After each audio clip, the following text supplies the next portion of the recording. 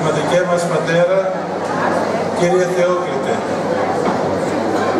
Πανοσιολογιότατε, καθηγούμενε της Ιεράς Μεγίστης Μονής του Βατοπεδίου και πολυσέβαστε μας Κύριε Εφραίμ. Αξιότιμε κύριε Αντιπεριφερειάρχα της Περιφερειακής Ενότητας Φλωρίνης, Φλόρινας, καλύτερα, αξιότιμε κύριε Δήμαρχε Φλόρινας, σεβαστοί πατέρες, αγαπητοί αδελφές και αδελφοί. Προτίμησα να πω ευχαριστώ αδελφές πρώτα γιατί είστε περισσότεροι από τους άντρες σήμερα, όπως και πάντοτε στους ναούς μας. Η Ιερά Μητρόπολης Φλωρίνης Πρεσπών και Ορδέας, με την πεπνημένη εντολή του Σεβασμιωτάτου Πιμενάρχου μας, κυρίου Θεοκλήτου. Απεφάσισε εφέτος η έναρξη της νέας εκκλησιαστικής κατοικητικής χρονιάς να γίνει με τρόπο κοινό σε αυτόν τον φιλόξενο χώρο του Λακάζα Γκράντε, ο οποίος διατίθεται για μία ακόμα φορά δωρεάν στην Ιερά Μητρόπολή μας.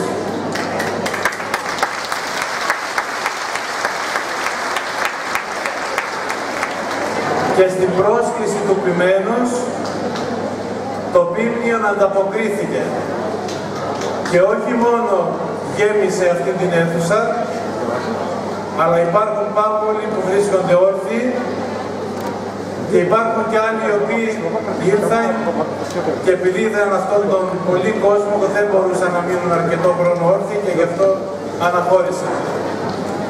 Γι' αυτό νομίζω σεβασμιότατε ότι ένα θερμό χειροκρότημα σε ένα τέτοιο καλό πίμνιο του ακούει πολύ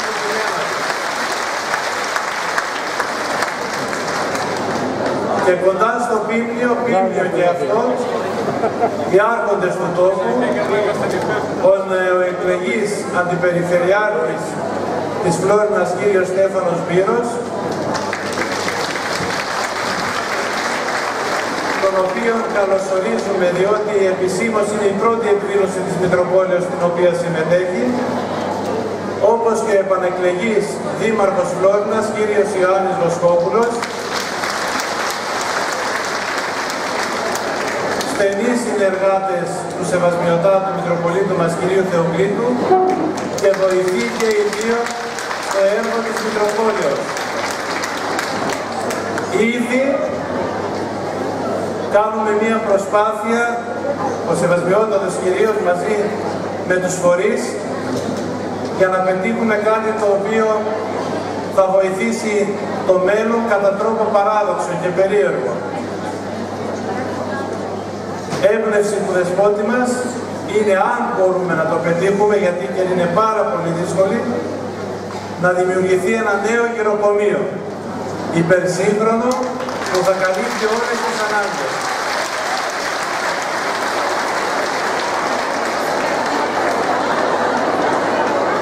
Βλέπω οι περισσότερες χαρήκατε. Μήπως έχετε, θα θέσετε υποψηφιότητα για να μπείτε στο γεροκομείο το καινούριο.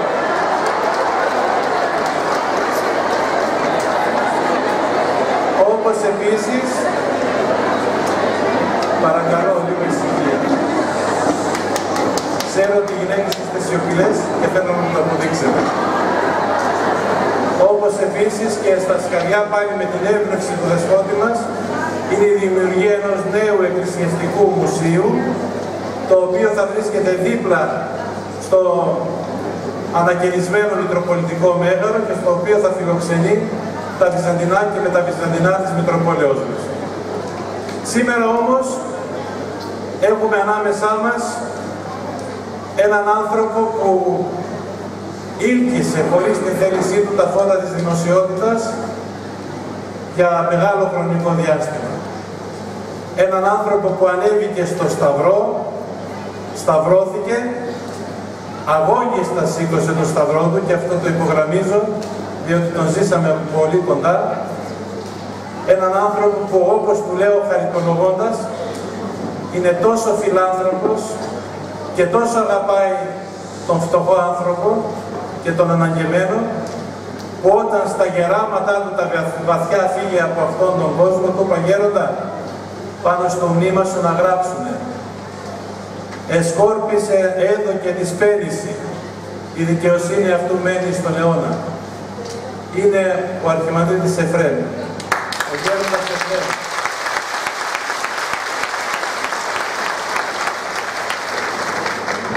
ο οποίος γέροντας Εφρέμ είναι ο βασικός, αν όχι ο μόνος, βοηθός της Μητροπόλεως στο μεγάλο φιλανθρωπικό έργο που επιτελεί. Είναι αυτός που όταν του είπαμε γέροντα στέρεψαν τα τρόφιμα, έστελνε ένα τόνο κοτόπουλα, 50 τενεκέδες τυρί, πολλά χαρκοπούτια μεγάλα, ό,τι τους ζητήσαμε ήταν πάντα δίπλα μας, χωρίς να περιμένει τίποτα από εμάς. Και νομίζω ότι η έμπνευση του Σεβασμιωτάτου Μητροπολίτου μας κυρίου Θεοκλήτου να τον φέρει κοντά μας ήταν, για να το πούμε όλοι μαζί, ένα μεγάλο ευχαριστώ για αυτά τα οποία μας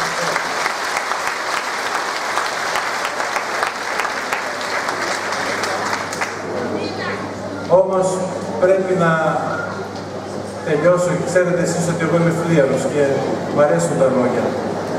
Να δώσω τον λόγο στον οικοδεσπότη, στον εμπνευστή και στην ψυχή και αυτής της συνάξεως αλλά και όλου τους σπουδαίου έργου στην, Μητροπόλη, στην Μητρόπολη μας. Σεβασμιότατε, ο λόγος είναι δικός σας. Όπως όλοι, όλοι μας είμαστε